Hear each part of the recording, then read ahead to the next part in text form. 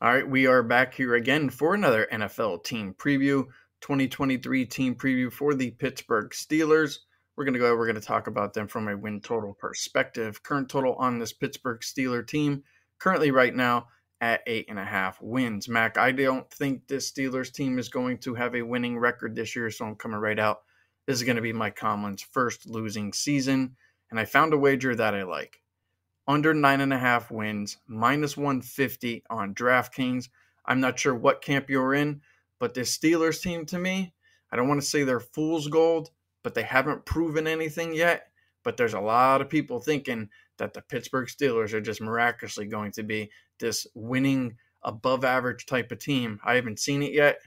I got a couple things I want to talk about on why, but right now, that's where I'm at. I think the Steelers have their first losing season under Mike Tomlin, and I don't think anybody said that all year long. Well, I don't want to scare you, scare you off your pick here, but Bill Simmons did pick the Steelers to win the Super Bowl at 40 to 1. So if you want to retract right now, I'll give you an opportunity to. I don't know what he's smoking, but um, I think in order for you to win the Super Bowl, you need to at least have somewhat of a Super Bowl roster or a Super Bowl quarterback. Um, I see nothing but average players all around this Pittsburgh team, uh, outside of maybe you know you could call out Watt, like yeah, very good, but who on their offense is really like an above average player? Like pick out, find me five players that are on the Pro Bowl team from this Pittsburgh team, and I don't think you can do that, but I bet you can do that on every Super Bowl winning team or even Super Bowl losing team uh, over the last probably ten years. So Pittsburgh, they're not going to the Super Bowl. They're not winning the Super Bowl. I would be surprised if they even got past the first round. So um, I heard that. I am guessing you probably were listening to the uh, the Bill Simmons and Cousin Sal podcast. Yep. I thought he was a little bit crazy there. I actually like Cousin Sal's pick far more than than forty five to one. I think the reason why he said that, Mac, was there was some type of weird like free bet or some crazy wager or something involved with that, and he was like, for 45 to 1 there was value in it for like kind of more or less like a free roll maybe? Was that what it was? I, I didn't exactly catch it. Yeah exactly. It was a fanduel promotion where they get uh, extra uh, cherry on top their sunday or something if they pick the super bowl winner and it very much felt like what you were saying where it's like i might look dumb if i pick the eagles at six to one or seven to one and they and they end up being terrible but this is a very safe kind of flyer where i get to be uh, you know, on the Steelers, you know, a popular team, and I get to r- ride that narrative. It did seem kind of phony to me. He didn't really give any reasons why they would be a Super Bowl caliber roster. You talk about difference makers. I think you can go to every other team in that division and pick out one or two Myles Garrett's and uh, you know Ja'Marr Chases and players that are arguably the best at their position. I don't really see. I don't think you can find that outside of T.J. Watt on the Steelers. I think the one reason why he probably said that, and it would make sense to me if had he said it on the podcast, is that this team's they have pedigree, right? I mean, this it's the Pittsburgh Steelers. Not not only that, they have a coach in Mike Tomlin who has been in the biggest games that understands what it's like to win every single year when his back's up against the wall. When it's like, hey, you, you're gonna have your first losing season, he's like, no, screw that, we're not. We're gonna go out there and win we're going to go out there and win playoff games or we'll win the Super Bowl. Like he's been there, done that. So um, if you have a team like Pittsburgh who is knocking on the door, maybe they get into the playoffs, anything can happen. But you have to like, you know, the upside being that we've seen the ceiling with Mike Tomlin and, and the Steelers teams in the past that, you know, that, that sometimes anything can happen. But let me go ahead and throw a little bit of shade here at the Steelers. Let's look at their schedule real quick. I think that their schedule is I don't want to say it's terrible, but it's it's not set up very well for them. One of the things that I preach about is that you want to play the bad teams at home. It's far easier to circle wins when you have the bad teams coming in your building. It's not good when you play all the bad teams on your schedule on the road. Now, the Pittsburgh Steelers are going to play five bad teams this year the Raiders, the Texans, the Rams, the Colts, the Cardinals but they have to play four of those teams in their building. That's not good. That's a huge disadvantage here for Pittsburgh. The home schedule for Pittsburgh, it's absolutely brutal. Like they only play one bad team, and that's the Cardinals. Outside of that, they're playing nothing but playoff contender type teams all year long. That's going to wear on them. Uh, I think that when you when you really look at the schedule, circle wins Like seriously, circle some wins. I'll give them the Arizona game late. It's like week 12, 13, but it's hard to circle a win for a team like this going on the road, even against bad teams. If it were the Chiefs, yeah, you probably circle that. If it was the Bengals, yeah, you probably circle that. But not for a Pittsburgh team that hasn't proven anything, that they're nothing more than just an average to a slightly above average team. That's just the way that that's the way I think about it. I look at what Pickett did last year, nice. I look at Najee Harris and Diontae and George Pickens, nice. Okay, good. You know, average to slightly above average. I don't know how they navigate through this schedule. I'm basing this off schedule is not going to, it's just, it's not going to be easy. And I can't circle really any more than maybe one or two wins. And it's not like I could circle a bunch of losses, Mac, but it's the wins. And when I need to get to eight, nine, ten wins and I can only circle one or two games, I'm not going to go ahead and play that team over. I'm just not, especially in the AFC that's stacked, in the division that's stacked. Again, and th- let's be honest, I think the other three teams in that division are better. So how am I betting this team over?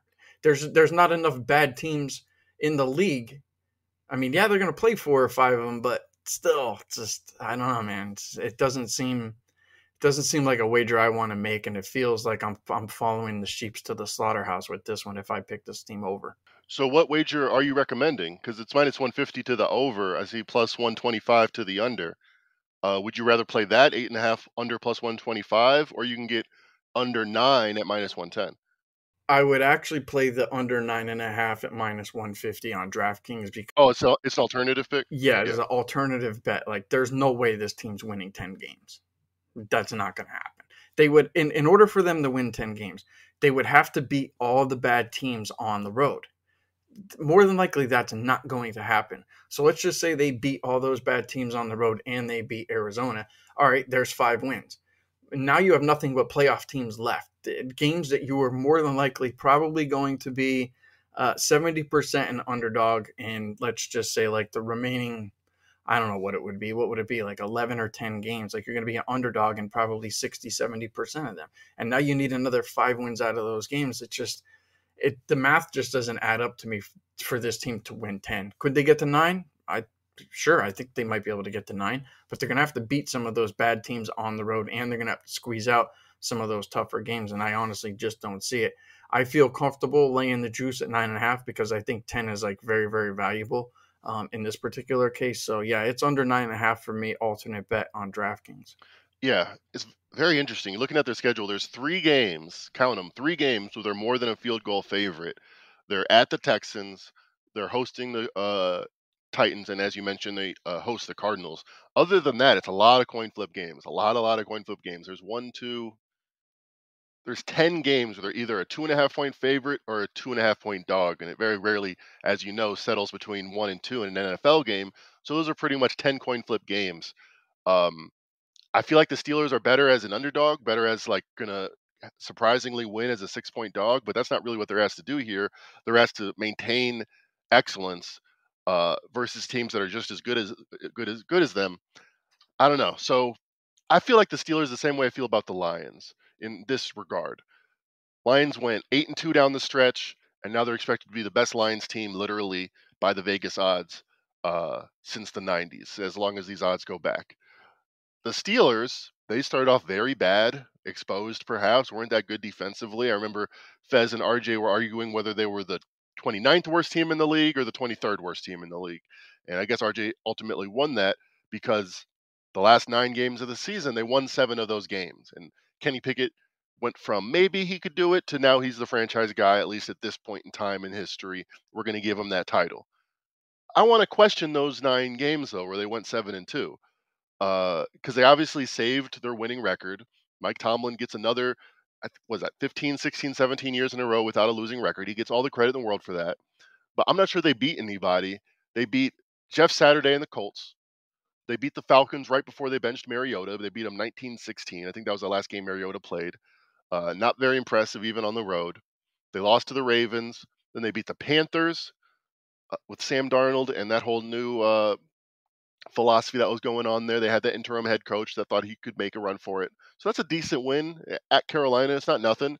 They beat the Raiders. I think that was Derek Carr's last game, sensing a little bit of a theme here where they're playing quarterbacks on their last leg. They beat the Ravens without Lamar Jackson in a game uh, where only 29 points were scored, 16 13. And then, with all the marbles on the table, with the chance to either go first losing team ever or best or longest run of not lo- having a losing season ever, they beat the Browns in week 18. I'm not saying we throw all those games out the window, but if you want to say what's more representative, what who the Steelers are, the first half of the season, where they were two and six versus good teams, or the last nine games of the season where they were seven and two and really didn't beat anybody of any consequence. I'd say going forward, I think you probably take it all into account. If anything, the first half of the season would be a little bit more representative in my eyes. So I've heard a lot of the uh, Steelers fan base get on their offensive line, especially their internal offensive line. It was very hard for them to generate any kind of push up the middle. The fact that they traded two of their starters from last year in the last couple weeks tells me either A, they're desperate to fix an, an offensive line that just wasn't working, uh, or B, they really like some of their other guys and they feel like they can trade away some of their depth because they feel like these new guys that they brought in uh, are going to make the difference. I, it's a question mark for me, and and uh, I ended up going with the Bengals under, like I said, for the AFC North preview. But I probably, if I had my judges, would have made the argument for Steelers under nine, or especially your bet, where you're not having to pay, you're only having to pay forty cents over minus one ten, and you're getting a full half win over market. I like the under nine and a half a lot. That's I think that's a very very shrewd way to go about it. Um, I think the Steelers are an average team in the toughest toughest division in football. That you know that's as basically as I can say it. Average team in the toughest division in football. I expect them to win eight games, and Mike Tomlin's finally going to have a first losing season. I wouldn't be shocked at all. So, Mike, let me ask you: if you're saying average team, what would the average team total be set at? Would it still be eight? Yeah, very good question. Well, it's eight and a half if it was an average team in an average division. However, if you look at the Steelers' opponents and their average win total, their average opponent actually has a win total of about 8.65. So to simplify the math, you can just say, well, their average opponent is about 0.2 better than an average team. So their average result is going to be 0.2 worse. So eight and a half, if they're completely average, if like God came down and said this is the 16th best team in the league, on a normal distribution, they'd be right there, dead center. Completely average, we'd expect this team to have an 8.3 win total based on their strength of schedule. It's a lot. It's point. It's three quarters higher than that. It's at nine. I think is consensus. So I do think they're a little bit overrated. Well, I do think on the surface, like when you take this team as a let's just say 22 man roster, I would say that they're slightly above average. That that's about as far as I'll go. But one of my big issues with this team is the fact that they might be one of the, the worst team when it comes to skill position, when it comes to the depth. They have no backup running backs that are really anything out there that, that are going to be able to really give you a big push. Uh, their wide receiver corps, if they lose guys off their wide receiver corps, like if Diontae Johnson, George Pickens, or Allen Robinson go down, um, I don't know what the hell they're going to do. Um, it's going to be a lot of Pat Freiermuth. So I think that the depth could be an issue. And if they do catch a couple dings like Najee goes down or Diontae goes down, one of those guys go down or two, I think they go from being maybe a slightly above average team to a slightly below average team. And there's no team in the NFL that's going to manage to be able to get through, you know, the entire season without their skill guys getting banged up. And I think that that's one of the the big issues for this Pittsburgh team is they just don't have a whole lot of quality um, on their depth chart, at least at their skill positions. I mean, Kenny Pickett, if he goes down, I mean, Trubisky's there, Rudolph's there. I mean, guys that have played, you know, in the starting role before, like uh, they might actually be okay at quarterback, but it's the other, especially the wide receiver corps. Like the wide receiver corps has to stay healthy. Diontae Johnson has never shown that he can do that. Allen Robinson has had issues, and George Pickens is is more or less, uh, I guess you could say, a little bit of an unknown. You know, when it comes to injury injury type of risk, but for me, it's um, I mean, it's it's nothing more than just a slightly above average team, and uh, the fact that they play all their bad teams on the road. I mean, I'm telling you now that that is a huge negative. Not only that, but Mac, I think you would probably agree. And when you're going up against a team, let's just say like Indy or Houston or whatever, those teams are searching for wins earlier on in the year, and you have to play those teams earlier on in the year. The one layup this team has is against Arizona, who might be packed in, tanked in by the time they play them. But the other four teams that they have to play on the road, they might be playing those teams in desperate situations where they're actually out there looking for a win. And I think that that just spells bad news for this Pittsburgh team um, all around. So I'm, I'm playing them under the nine and a half minus 150 on DraftKings. I, I think that's a very good wager. I don't know how this team wins ten, and I, I it's it's even in question that this team could win eight. So um, I'm going to call for their first losing season. That's where I'm at, Mac. That's my final my final answer. The best part about it is they don't have to have a losing season. They go nine and eight.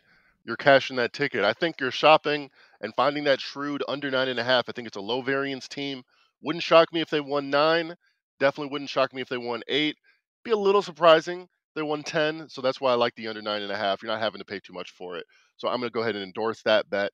Um, I will say this: I'm not going to bet it, but as a 49ers fan with Nick Bosa, I would say at this point likely to miss Week One, at least have very limited practice time. I don't mind the Steelers plus two and a half, and I've never bet against uh, my cousin's team. I don't think, I don't think uh, in my life, but I'm definitely not running to the run into the window to bet on them. That's a very scary position. Mike Tomlin, a very excellent record at home uh, as a dog. So that's why I think week one could be a little bit of a of a shocker. Uh, but if they do go as the Vegas market predicts and lose week one, it's gonna be very hard to get to ten wins, if not impossible. That's like the fishy line of the week. I think everybody is it's like, oh, fishy. it is fishy. San Fran minus two and a half. It's like, oh yeah, just bet them. Not so fast. Uh, but so there you guys go. That that's that's the Pittsburgh Steelers in a nutshell. Kind of what we're thinking with them. Um, since we're giving out crazy Super Bowl predictions here, Mac, uh, you know, free bets on FanDuel. I will tell you this: the Steelers are not winning the Super Bowl with, with whatever free bet you're getting there on FanDuel. But I will throw out my kind of sleeper pick here, and I think that this might be a wager. Maybe you can find there, Mac, and I haven't seen this. What division will win the Super Bowl? I'll tell you right now, the AFC North is a really good division for you to go ahead and put your money down on. I really think the Bengals have a really good chance. I really think Baltimore has a really good chance. I have both of those teams within my top three teams. I have Cincinnati two, Baltimore three. A lot of people ask me why I have Baltimore three. I can get into a lot of uh, a lot of conversation with that. But I think if you can find a wager, maybe play Baltimore or maybe just find the AFC North to go ahead and win win the Super Bowl. You might even be able to get that at like five, six to one somewhere in that area. I don't know what what that I don't know what the market would say on that.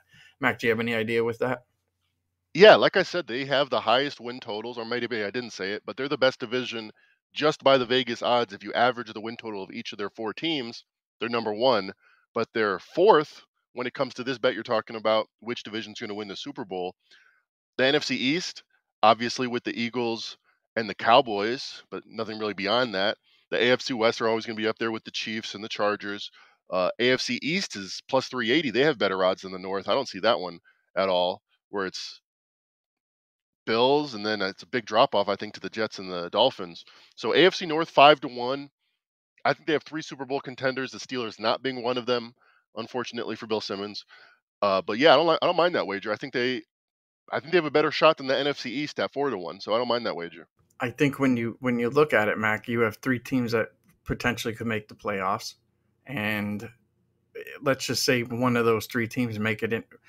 I mean, there's a good chance that it could be Baltimore versus Cleveland or Cleveland versus Cincinnati in, in the championship game. Like I could be walking into the Super Bowl with a, a five to one ticket. I'm not going to be a five to one dog in the Super Bowl, no matter what. So I think that you got three teams that could legitimately make it there. I might get lucky and and you know have one of them might be you know knocking each other out, but advancing one. So anyway, so there's there's a goofy wager for you. I figured to give you guys something crazy before we go ahead and jump off the podcast. But that's our breakdown there of the Pittsburgh Steelers. Um, again, if you guys have not followed along and, and seen all the previews that we've done, uh, make sure you guys go to pregame.com, check out our YouTube page. And if you guys are, are tired of listening to my voice and you haven't listened to all the other ones, you can go to the pregame.com news section and you can read up on all these teams. Mackenzie Rivers has all that information in there. Follow us on Twitter at SleepyJ underscore pregame at Mac and Rivers. Uh, you guys can get more information from pregame.com at pregame now. If you guys looking for a free bet, go ahead and enter code pregame25 there at pregame.com. With that said, I'd like to wish you guys all the best of luck. Enjoy the games.